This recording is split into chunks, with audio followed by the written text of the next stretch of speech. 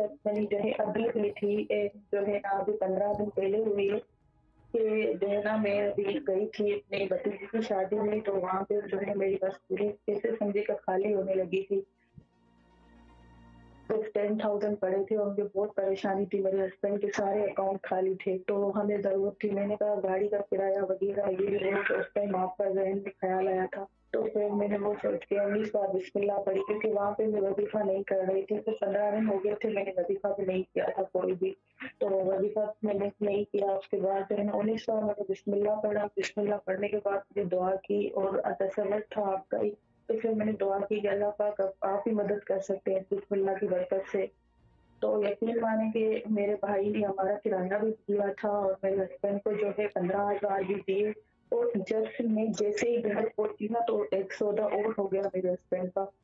तो उसमें से जो है ना पचास और मिल गए गुड